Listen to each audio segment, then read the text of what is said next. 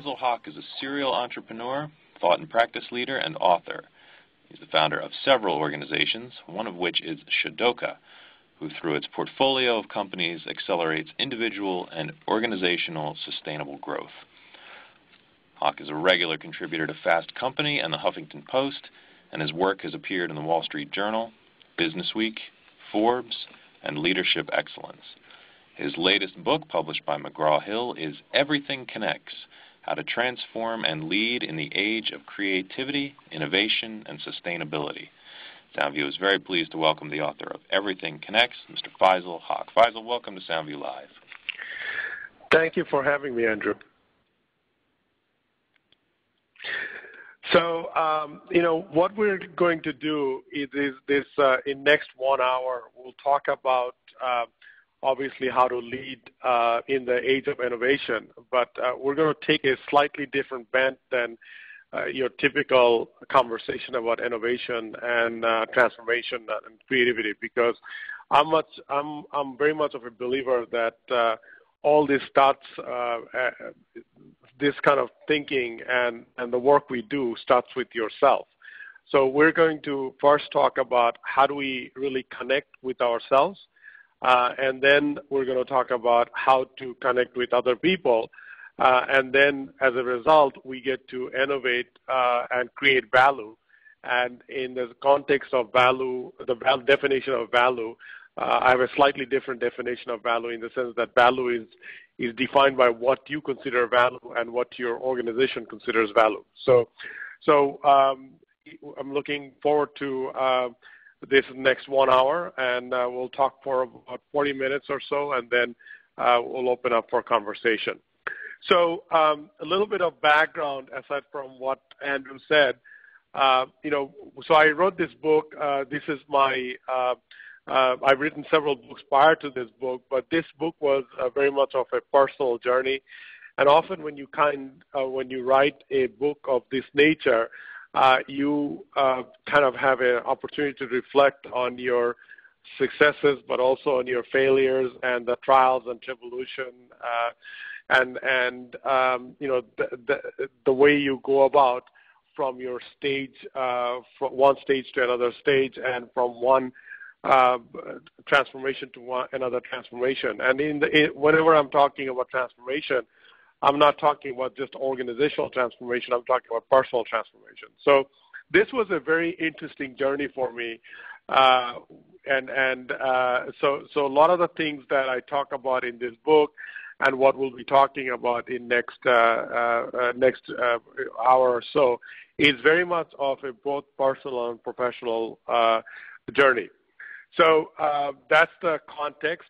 So in that context, uh, you know what what I would would like to first set the stage as that is what I started talking about is that the, even though we have uh, major technological ch- changes and social behaviors are changing, and as a result, we have much bigger opportunity to create, to innovate, uh, and and also create sustainability for ourselves both from a growth point of view, but also from an economic point of view.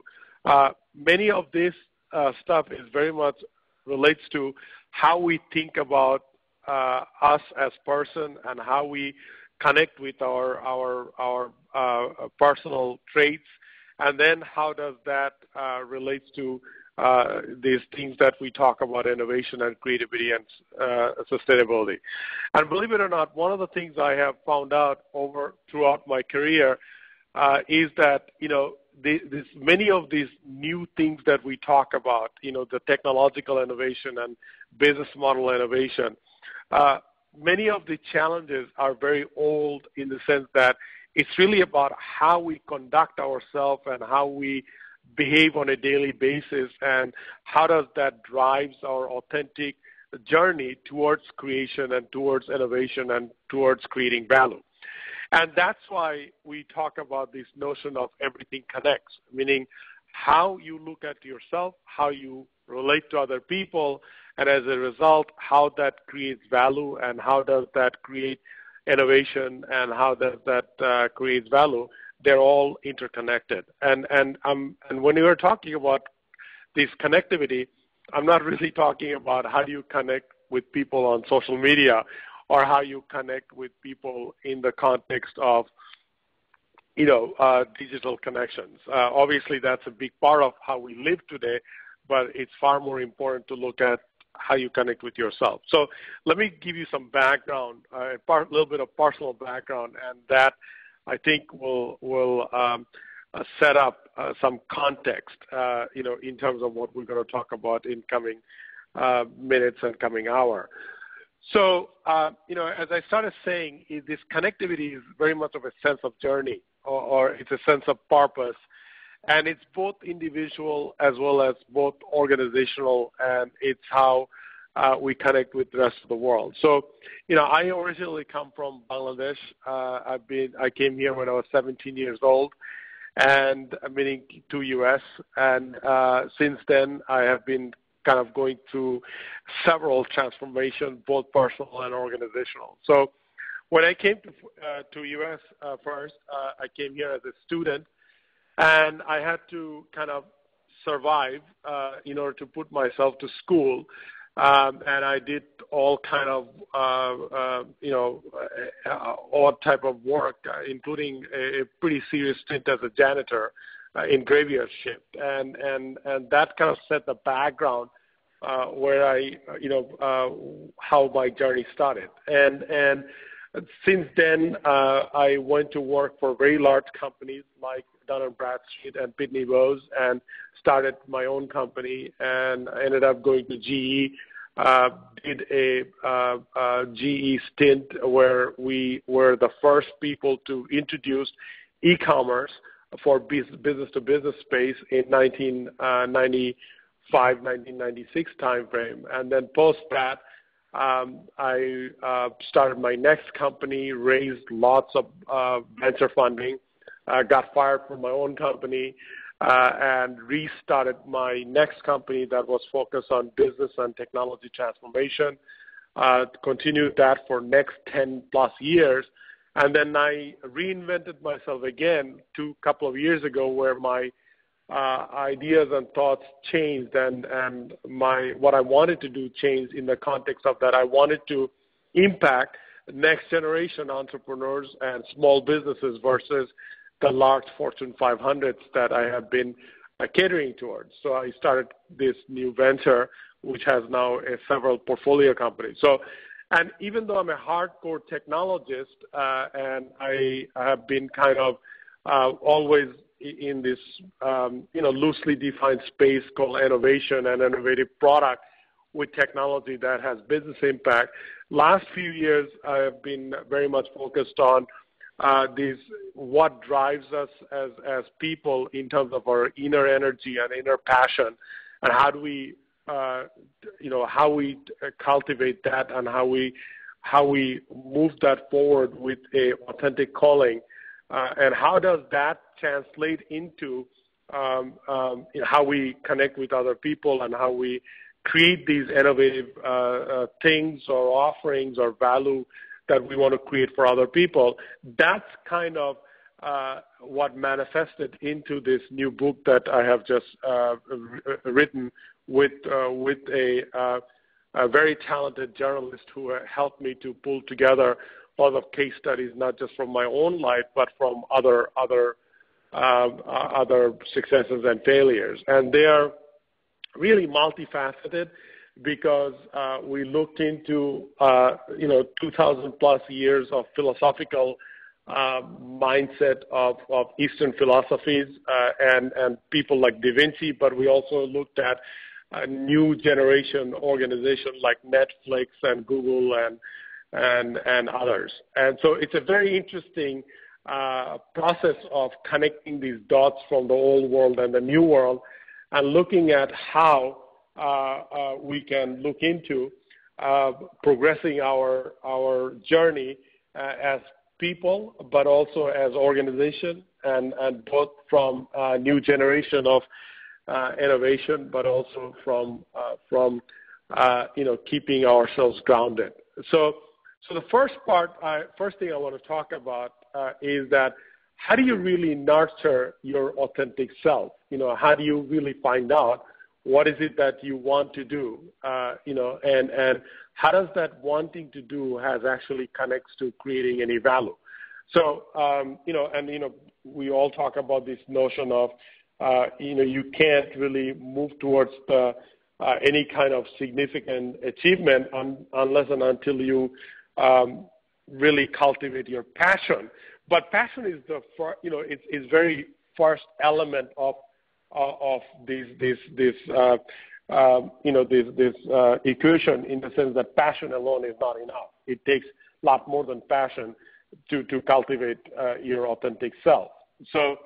Um, you know, I'm a big fan of Steven Pressfield, uh, which you might have read some of his work. Um, you know, you might have seen a movie called the, uh, you know, the the Bagger Vance, the Legend of Bagger Vance, which is really around um, a, go- a story of a golfer from down south in U.S. and how he had to find his way. But uh, Steven Pressfield writes about authentic calling, and he writes about um, you know what is it that we have to do to cultivate our authentic calling.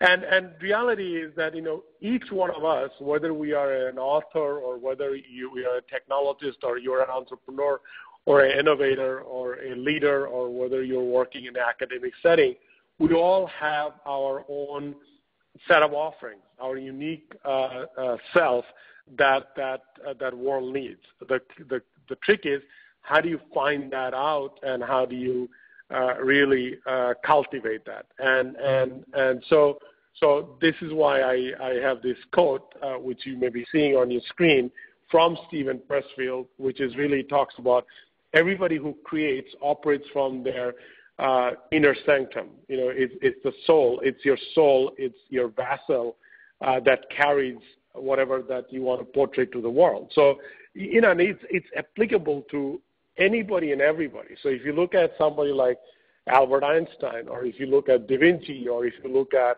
uh, you know, um, new generation uh, uh, technologists or, or entrepreneurs like uh, Bill Gates or uh, you know, or people like uh, uh, Steve Jobs or whoever, or, the people that you work with on a regular basis who are not so famous.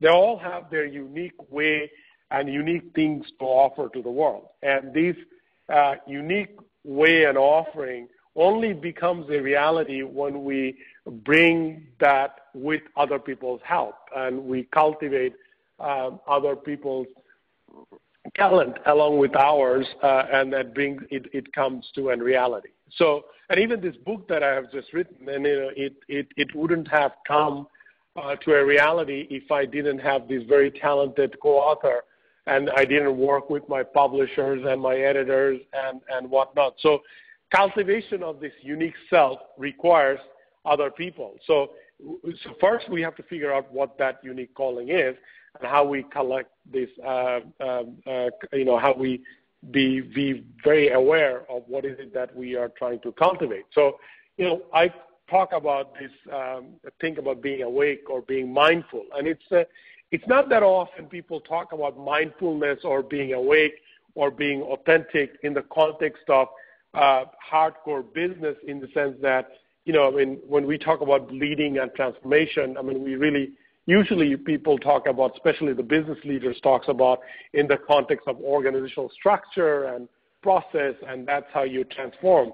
But I, I argue that you know this this this idea of transformation, an idea of of creation or idea of leading comes from being very mindful or awake of your self-existence and your own self-motivation uh, and how you want to take your inner passion and manifest that into reality. And, and this idea of mindfulness, you know, is, is, is a thought of um, being aware of how you want to look at it, look at what you want to do and how you want to do it. And actually, it's very difficult because you know we all struggle with what is it that we want to do uh, and that that we think that may or may not add value to the world and be very assured that whatever it is that we think it is unique about us and we want to um, you know uh, roll that out to the to the rest of the world is you know having that confidence level and having that that skill set and having that uh, ecosystem which we'll talk about it later a bit uh, comes together, you know, uh, to, to manifest that into reality. And mindfulness is this notion of being awake uh, of what we want to do, how we want to do it, and how we want to nurture it on a daily basis that moves us forward. So, you know, in terms of being mindful, I would argue that you, you need couple, you know, three things, which is really comes from a lot of these Eastern philosophical way of looking at it. In the main, in the thing that you have to be, have to have the right intention. What is it that you want to do? And behind that right intention, you have to give the right effort. Uh, and this, I, this intersection of right effort and right intention is what allows us to be mindful. And when we are very devoted about our intention and our our um, um, you know uh, what is it that we want to uh, do, that's when uh, uh, uh things becomes a reality. So I I give you a um, simple example of, of of a basketball player. You know, I mean, we all know the story of Michael Jordan needs to go get up middle of the night and and shoot hoops, and and that crafted his his thinking of of how he wants to play the ball and how he wants to make a mark in the world. And this ritualistic behavior is what we call devotion, meaning that crafting, uh, you know, become a master at your craft comes from this devotion uh, or ritualistic behavior or practicing over and over again with the right intention and the right mindset. And what's that's really about self leadership. And when we have the self leadership, only then we can, uh, you know, uh, uh, lead other people. And you know, and by the way, to be authentic and to to be able to lead with our own thoughts and idea uh, requires a lot of resiliency because the resiliency um, uh, uh, because you know we all face a lot of adversity. You know, we face adversity in terms of when we want to take our ideas to the to, to, to manifest into reality, or when we want to uh, uh, create a new offering, or we want to create a new, new company, or we want to write a new book, we face lots of adversity. And that adversity, uh, it really comes from having the resiliency to overcome whatever adversity uh, that's coming to, towards us. So, you know, I told you this story of me coming here when I was 17 years old. I hardly had any money and I had to survive and I had to put myself to, to school and, you know, I wanted to create my own company, which I was able to create my own company, but then I got fired from my own company. So I had to recreate my, myself time and time again. So this, this idea of resiliency is directly related to uh, whether your authenticity, authenticity has a chance to survive and to manifest into reality. Because if you're not uh, resilient, and if you are not able to protect your dream and your, your desire, and you don't know how to suffer well, which is in a subject by in itself, which we'll talk maybe at some other uh, um, webinar in the future. But this authenticity and this idea of being very awake what you want to do and resiliency is the connection to yourself, which then allows us to connect with, uh, with, with the rest of the world. So Authenticity requires resiliency, and resiliency comes from the idea of being able to protect our own dream and our desires and being able to suffer well through that process and not not not give give up and and and lead ourselves so that we can be not just be inspired but also have the ability to inspire others so that we can um, you know take our ideas forward uh, in, the, in the next phase. So once we know how to lead ourselves, that's when we can know how to bring other people to the picture and to, to bring them uh, to, to, to support our ideas and our thoughts to the, to the next level. And by the way, I mean, these things uh, I'm talking about, there's nothing new about it, but it, it is very difficult to connect this dot about how do we lead ourselves with the authentic mindset and be aware of it with a devotion and with a set of ritualistic practices, and then how we connect our other other that we need because nobody succeeds in silos. We all need other people to help us to uh, carry our goal. So so to understand uh, the the the the uh, this notion of we need other people, we actually have to understand that you know just like life in work, you know we need traveling partners, and you know and I use this metaphor of traveling partners loosely, but it's very powerful in the sense that you can think about taking a journey you know, and, and that could be like as simple as going and having a dinner. When you have a bad dinner companion, no matter how good the food is, uh, you know, the dinner is usually not that good. You don't, you don't have a good experience. So to, in order to create a good experience, you need the right traveling partner. Uh, and, and this idea of traveling partner is what makes uh, a journey successful, right? And I learned very, uh, uh, you know, very painfully when you have wrong uh, traveling partner, how your venture or how your project or how your experience turns out to be uh, a bad experience. So, for example, um, and by the way, the traveling partner doesn't have a background, right? Because what makes it interesting is when you have these traveling partners from many different experiences, and we call about diversity of experience. You know, diversity of experience is what makes a, a conversation or a project or a venture very, very successful. And, and, and you almost want uh, your traveling partners being on a different bent to what you are about and what you do. So I was uh, sharing with you that, that this project, uh, this book that I wrote with, with the uh, co-author, he comes from a very different background. He's a very talented journalist. But we have one common thread of what our passion is about philosophy and, and business models and, life in general. But he is, you know, a lot younger than me. But our collective experience, what made this uh, journey of writing this book very successful. And what what is important to understand is that, you know, as a leader, we almost have to uh, become a curator uh, of these different experiences that allows us to succeed as, as a team. And, you know, and I use this term curator loosely, but it's also, again, a very powerful metaphor, just like a companion of, of a journey in the sense that uh, when we look at, uh, when we walk in a museum, you know, you can look at uh, these beautifully curated uh, images or statues or sculpture, whatever the case may be but they're carefully curated so one relates to another.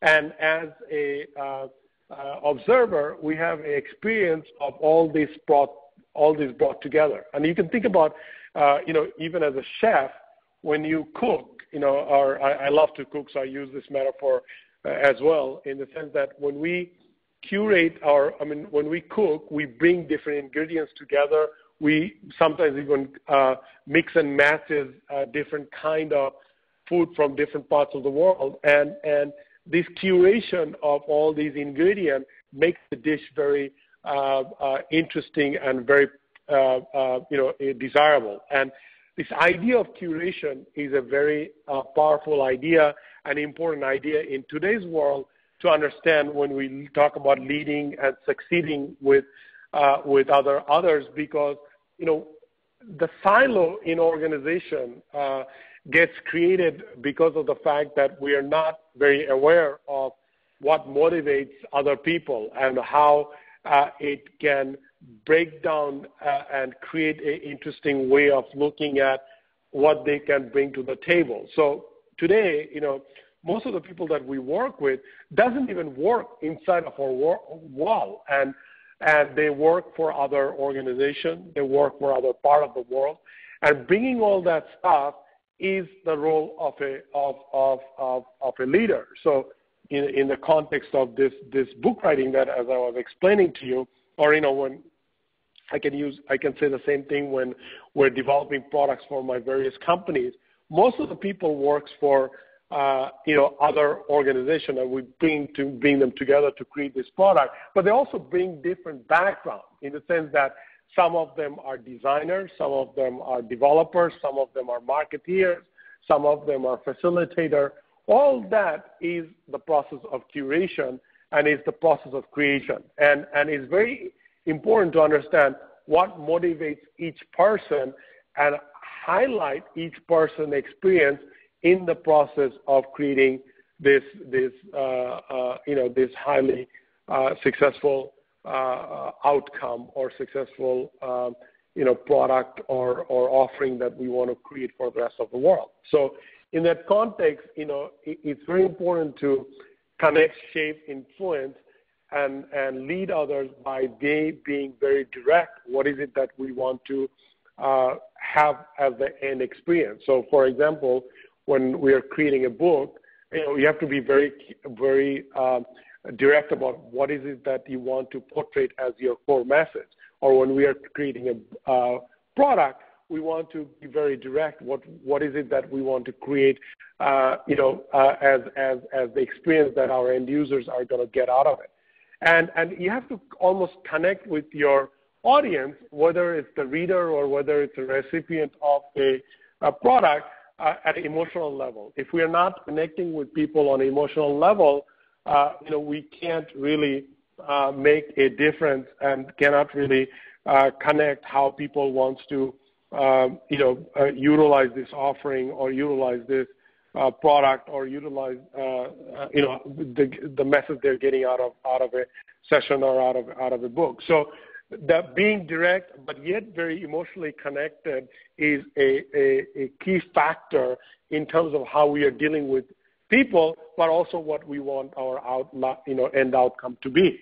And then the last uh, thing is that, you know, one of the biggest learning that I have had is that whenever you are too complicated is when we fail. So, for example, uh, you know, this this happens especially in large organizations you know, I mean, as you start expanding your offering and expanding your products or expanding your organization, it gets very overly complicated. Too many process, too many ideas, too many things in a product and in an offering, and it that complexity kills the idea, and it also um, kind of uh, you know desalinate people. It breaks down the alignment what is it that you wanted to do. So the simpler things are, the more successful they are. And the simple we interact with people, the more successful we can interact with people. So this idea of being direct, being emotionally connected, and being simple is what brings people together.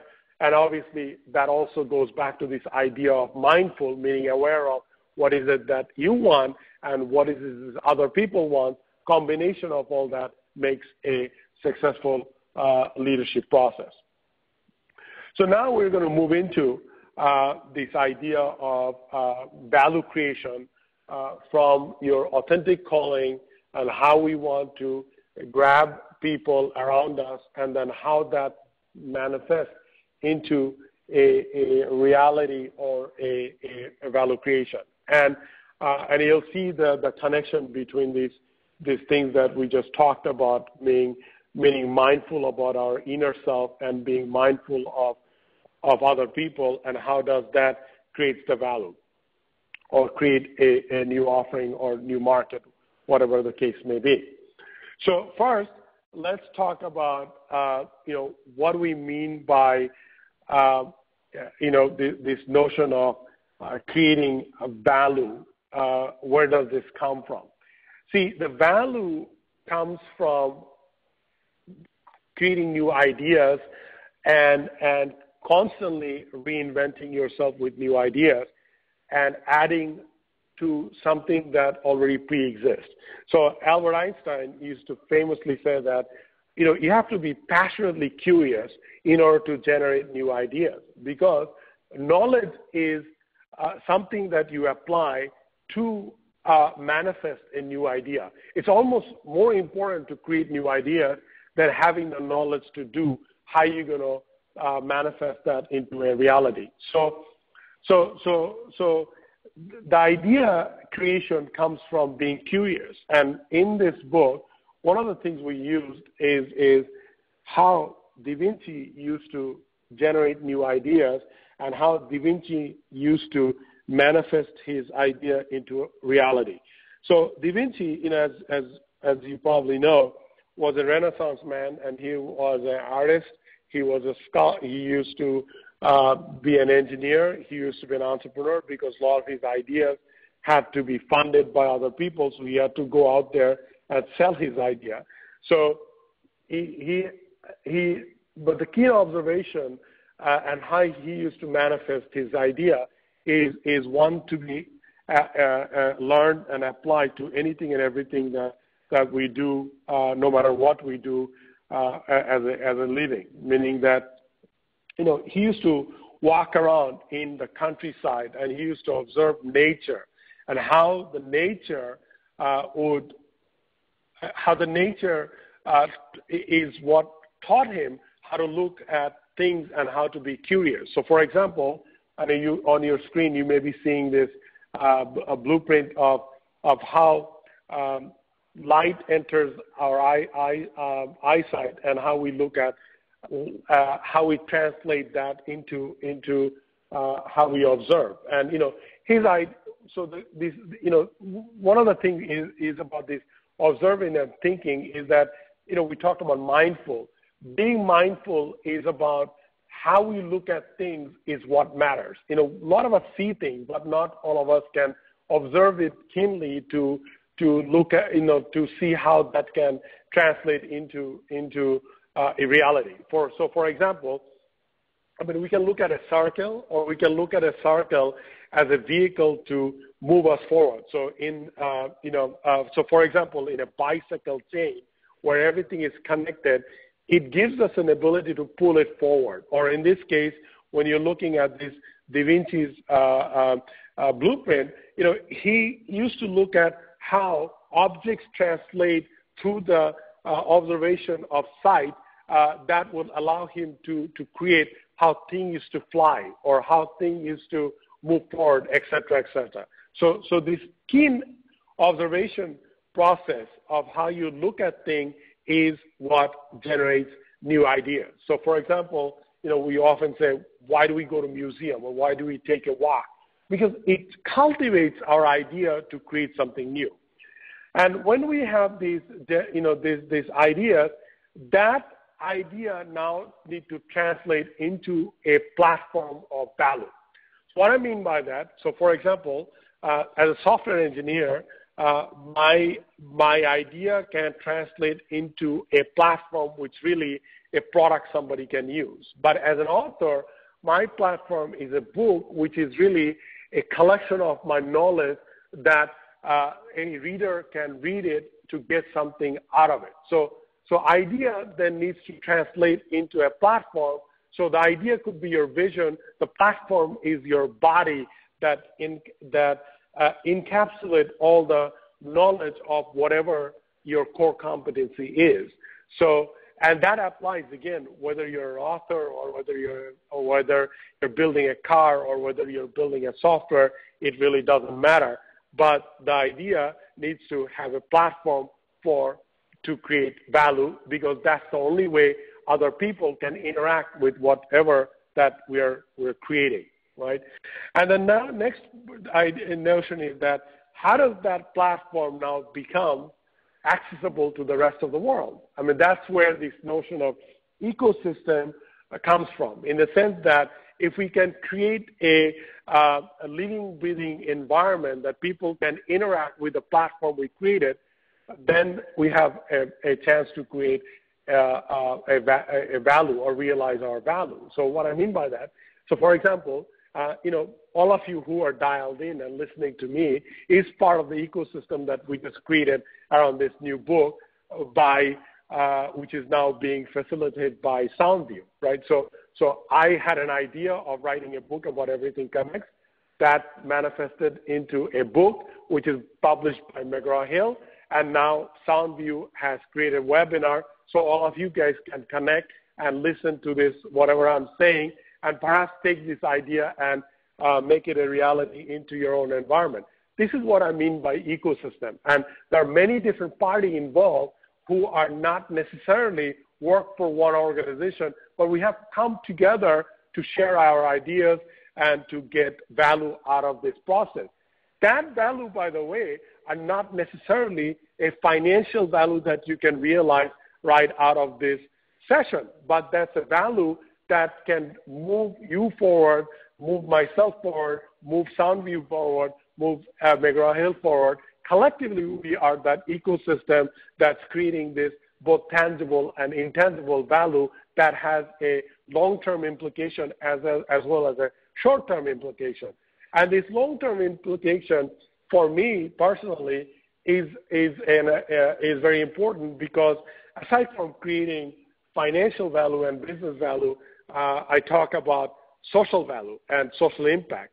The fact that we're sharing our knowledge with each other, that there is a social connotation uh, and there's a long-term impact and long-term uh, process, uh, you know, alongside with this, with this, um, you know, creation of, of ecosystem.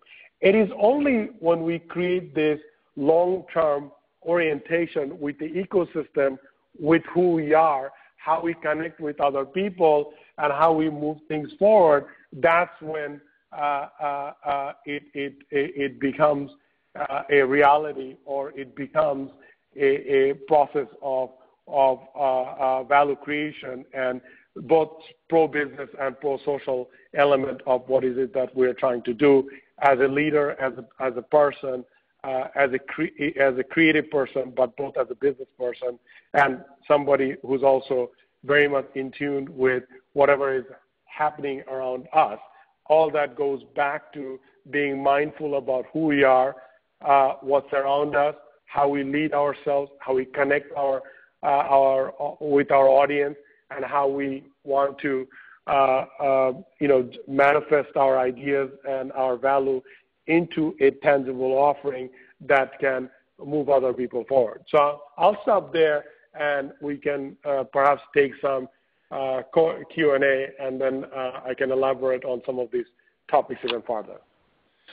All right, if you have questions for Faisal Hoque, he is the author of Everything Connects. You can ask them by using the chat window, and you can just type your questions in there, and you'll be able to click submit to send it to us. Uh, Faisal, let's do this because a number of people have, have hitched onto the idea of ecosystems. I want to address those questions first, and then we'll move back into some of the other ideas that you discussed with everyone today. Is that okay with you? Absolutely.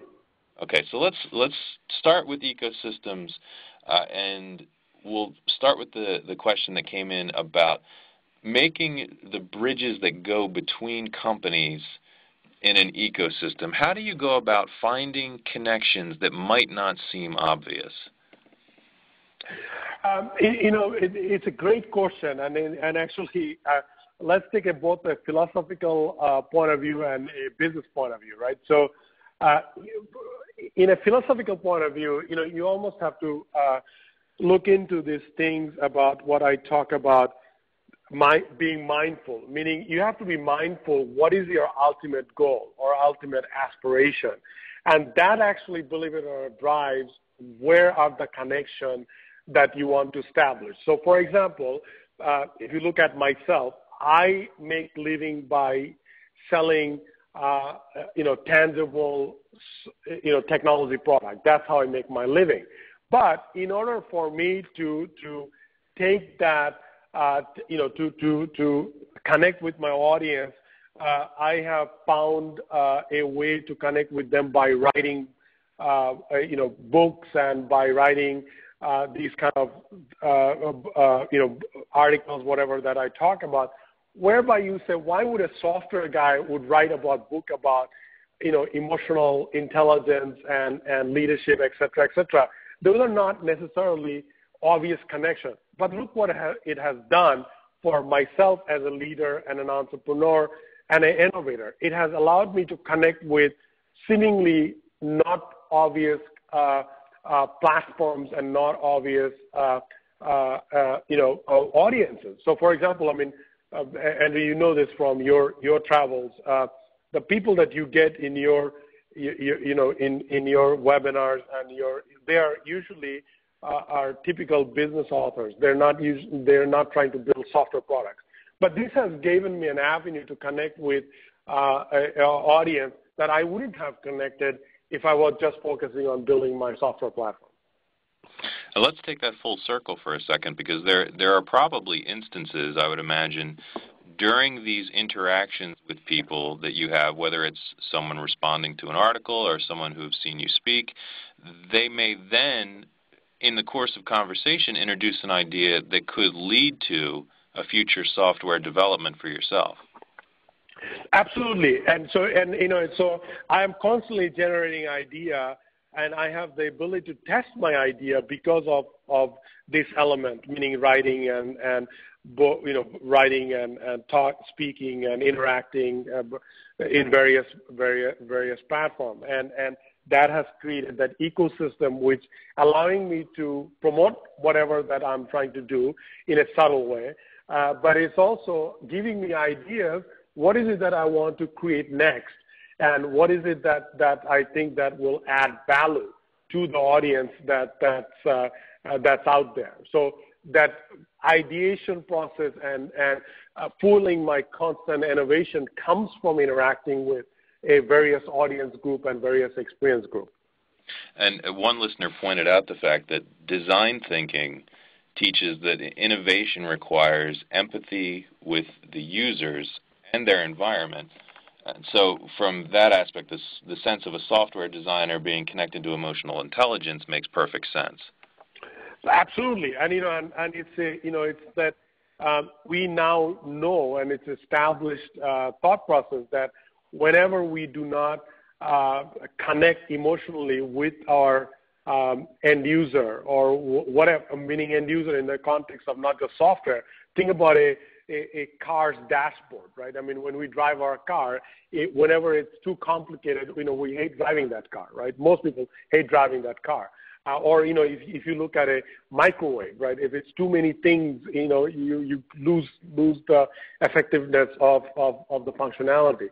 So this awareness is what we talk about being mindful or emotionally connected with your audience, which allows us to think how we want to portray the functionality or how we want to connect with our audience through our product, which really manifests into a platform. Let's let's follow up with another question about ecosystems because someone had asked about what's involved in maintaining the ecosystem. Can anyone truly control it? Um, actually, you don't want to control your ecosystem. You want to make it organic, right? Because that's the you know the idea of ecosystem comes from biology, right? Meaning that you know nature uh, provides us an environment and and it's an organic process of growth. Now, you know, uh, just like nature, uh, you know, you can destroy your ecosystem by not properly nurturing it. So you, there's a difference between controlling and nurturing. You want to nurture so there is an organic movement behind that ecosystem and people contribute and you get to contribute to the ecosystem uh, uh, uh, on a, an innate natural way but you really don't want to control that ecosystem because if you control, then you're not creating an ecosystem. You're almost like dictating uh, inter- whether it's your internal organization or your external connection with the with the with the world. So, from to draw a parallel to let's say the world of agriculture, that that's the equivalent of you know attempting to have animals that are free range versus ones that are kind of controlled inside of a, a, a center where they're trying to grow them. Uh, absolutely. I mean, you know, like we know now much better what, why, you know, what the benefits of, uh, you know, this, this organic uh, process of growth versus inorganic. And you can look at it even a hardcore business. Like, I mean, companies are often, I won't mention the name of the companies, but uh, audience, uh, you know, call them evil empires. Why do they call evil empires? Because they try, to control everything, right? So, and, whenever they try to control everything, that's when they start losing their customer base and their partner base and their uh, quote unquote ecosystem that gave them the, the original success to begin with. Can can you, but just to help listeners a little bit, can you talk about the the actual the practical part of that in terms of um, how do you seek out opportunities to participate in the ecosystem? Because we're we're not talking about control, but how do you then recognize opportunities and what steps should you take? So um, so it it actually goes back to that very uh, uh, lack of better words, uh, philosophical discussion we had about being authentic, right? So, so you you have to go in there with an authentic authentic uh, self in the sense that uh, the way you start losing your your ecosystem is when you are not being authentic and staying true to your calling. So, for example, if you say, "Look, my you know who I am or what my company or whatever my organization does is this one thing, and this is my uh, uh, uh, core uh, belief system and, and branding." So, for example, if you look at Apple or if you look at Nike or if you look at Netflix or even if you look at uh, you know uh, a, uh, a, a, a, particular author's brand, they are successful because they have a unique um, uh, you know uh, port- portrait of who they are and the value they bring to the table or how they're interacting and setting up their uh, you know um, um, uh, calling out to, to the rest of the world. So first thing to realize is that you cannot be all thing to everybody. You have to have a authentic uh, uh, value proposition or authentic calling. Uh, that's the first most important thing. Second is your ecosystem can support that uh, authentic calling if your authentic calling has value. Meaning that, you know, why does one book becomes more valuable than others? Because it has an authentic message and authentic learning process so everybody latch onto it. But when they latch onto it other things comes out of the process of of dealing with that thing right? So so from that context is that that's how you control the ecosystem because you have authentic calling but you're expanding that authentic calling by interacting with the rest of the world but you're not losing your core value or core offering because if you do that, then you become all, all things to everybody, and you start losing your you know authenticity, right? So, so you know, and you know, if you look at a large company context, like I used to work in GE, or you know, you can think about IBM or Microsoft. One of the constant criticism is that they do everything. You know, they try to do everything, and when you try to do everything, that's when you start losing your what made you successful to begin with, right? So, so this authenticity has a very deep and very meaningful, you know, context both from a personal point of view as well as a uh, organization point of view. We're talking with Faisal Hoque. He's an entrepreneur, the founder of Shadoka. He's also the author of of the book Everything Connects. What's we can we can return to this topic of ecosystems at some point if if the audience wants to continue with it. But I want to make sure we touch on some of the other areas that have been brought up by listeners. One of which is innovation. Uh, how how are we able to keep current with innovation uh, as changes are happening so rapidly? Someone had asked if you could comment on that. Sure. I mean, you know, this this notion of change, right? innovation is about change, and and for most people, uh, it's difficult to change because you know we often feel that it's more it's safer to to uh, be uh, whatever made us successful and as and and just stay with it, right? And that's why uh, innovation is difficult both from creation point of view as well as to stay with it, right? So, for example, you know, once upon a time, meaning when in 90s, I was one of these young, you know, 20-something entrepreneurs. I'm in my 40s now. I'm no longer that, you know, that that Silicon Valley 20-something entrepreneur. But I'm not done with my innovation. I'm I'm constantly pushing myself uh, to be more innovative. So, so a lot of the things had to change in terms of how I used to work and and how I'm working now, and that's applicable uh, to everybody. So this open to change and constantly forcing yourself to change is what makes uh, adaptive and, and to stay with innovation, but also create new innovative offering. They, the, the way I used to develop product or the way I used to market my offering or the way I used to write is dramatically different, uh, you know, what I did in 90s and what I'm doing now because the world has changed we have more opportunity, more access, but also social behavior uh, is is completely different.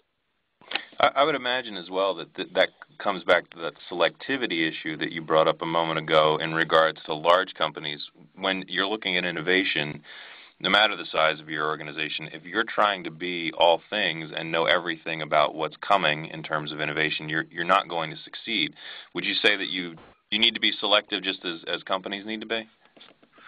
Absolutely. You know, and and that also goes back to this uh, you know, that inner and outer awareness that we talk about. So, for example, uh, you know, I mean, uh, imagine the way we used to, uh, you know, reach out to people uh, 10 years ago versus now, right? I mean, we use social media extensively now for business purposes and to generate idea and communicate, et cetera, et cetera, right? Before, we used to do it very differently, right? So, so this inner and outer awareness uh, is what drives the the change. And what happens in a lot of times in large organizations, like I, you know, uh, what I used to see in places like GE and uh, Pepsi and other other places. I mean, you get very much inward focus and you forget what's going on the rest of the world, and it passes you by, right? So I mean, you even even heard uh, Eric Schmidt talking about, meaning Google, talking about the fact that they feel that they missed out on the social uh, media movement, and and they caught, uh, you know, it, it, passed them by, and they, they and so it's difficult uh, to stay with whatever that is happening, but it only can come from if you are utterly aware of what is it that you want to be, but also what is going on rest of the world, and that's why this notion of everything connects what's going on inside of you also has to connect with what's going outside of you. And then following up on that idea, a listener had also asked about how to make innovation as part of a habit or part of the culture of your company. What what are your thoughts on that, Faisal? See, and you know, I grew up on uh, a lot of Eastern philosophy, as you know from reading the book. Uh, you know, this notion of ritualistic behavior, which I uh, you, you, know, I, I, I adopted a Eastern philosophical term called devotion. Uh, you know, this ritual, you have to be very devotional about innovation and creativity, right? You have to nurture it. So, for example, uh, you know, you know, and, and you know, I mean, uh, uh, a writer becomes only better writer when he writes every day at a certain time. Same way, if you want to become a better coder, uh, you have to repeatedly code and learn new techniques and new, new tricks and whatever is going on in terms of outside world, apply that. But you have to be ritualistic and devotional about creativity and uh, uh, uh, innovation, and you have to take time to do that. You cannot say, "Well, I got, I have to put out this fire. I have to go on this. I have to deal with my people." If you do that, you're not going to innovate. And there is a difference between innovation, creativity, uh, uh, and leading versus managing, right? And so, you know, and, and there's different roles, by the way. And one of the things we argue uh, in the book is the fact that the way to stay fresh is that forget about the definition of your, uh, you know, job title. If, when you start thinking about playing different roles, meaning you can be a creator and you can be a builder and you can be a marketeer and as you look at these roles and rotate these roles, that's when you become devotional by bringing inner you know, your inner passion along with whatever is going on outside and be creative and be innovative and stay with change constantly. If you visit uh, if you visit Faisal on Twitter, he's a Faisal underscore Hoque. you'll be able to see uh, he tweeted I think it was yesterday uh, a clip from an interview that he and I conducted a short while ago in which he discusses that more in detail about this notion of not being so tied to title and the power that comes from being able to be rotated through a variety of roles and in some cases it's it's project by project um, so I, would recommend everyone everyone visit that once we're wrapped up here today and, and take a look. Let me move into a question that came up about. We have a couple questions about entrepreneurship, and in one in particular, you're the perfect person to ask because you not only have had extensive experience from the startup side, but you also worked with GE and you've you've worked with larger companies in the past. Uh, this you hear a lot. Someone said you hear a lot about major organizations that look to adopt principles from the startup world. Did you apply aspects of large companies during your startup phase?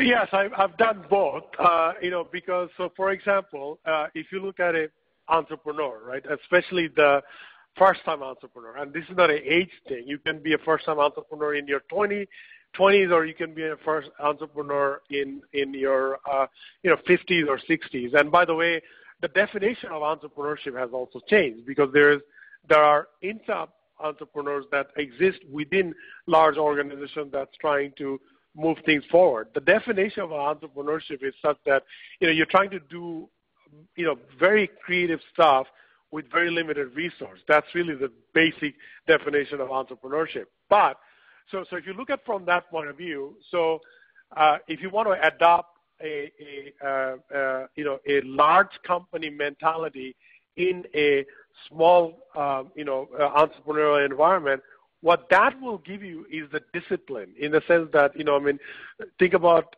you know, what happens in a large company if you want to push a project forward. You have to go and convince your boss, and then you have to have uh, have a investment community committee that may approve the funding for the projects you're trying to do. By the way, that's exactly what you're doing in a small entrepreneurial environment as well, in the sense that you have to put together your offering, you have to put together a pitch, and then you have to sell that to either to an investor or to a uh, customer or a partner, whatever the case may be.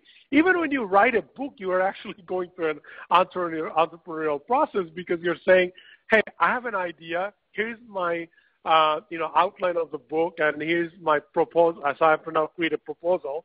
I have to go to a a publisher and I have to sell my idea and they're going to buy that and then the book becomes a reality, right? So everything is an entrepreneurial process, but the both the idea generation and the discipline of large scale mentality, uh, you know, meaning what you typically find in the large organization actually applies. And most entrepreneur fails or or doesn't have the ability to scale something because they don't apply that discipline of uh, that kind of process-centric behavior. So it's the creativity and the process when it comes together, that's when really the companies uh, succeed, large or small. So that kind of mentality apply in both both point of view. Now, one last question, and, and then we'll wrap up, and it addresses, again, from an entrepreneur standpoint, the issue of staffing, and I think this is a, a good one to close with. You, you had talked about curating a, a, committed group to be able to get together and rally around projects or ideas. Someone had asked, we're, we're able to attract the talent that matches our passion level, it's the commitment to to stay with us that tends to wane. Many of the people whom we've hired have eventually left to attempt to form their own startups. And what the question is, how can we hang on to them, or do we want to hang on to them? You know, it's a very difficult and a complex question. And what I have learned is that you have to define what is it that you ultimately want to gain. So what I mean by that, do you want to uh, do you want to have access to the talent, or do you want them to work for you, and that is the only way to access them? In my case, you know, I was able to access the talent even when they left me to do their own thing. Actually, I encouraged them to go and do their own thing. But that doesn't mean that I cannot tap into that talent. So, for example, you know, I mean, you know, I just written this book with with uh, with somebody, and most likely he and I are not going to write our next book together. But that's okay. And he doesn't work for me. We're going to write a book maybe two years later on a separate topic. But this, the, you have to, you know, it's, uh, if you look at movie industry, they have mastered this art of, uh, uh, you know, bringing people together uh, whenever they need, and different people play different role for different movies but they don't lose that relationship.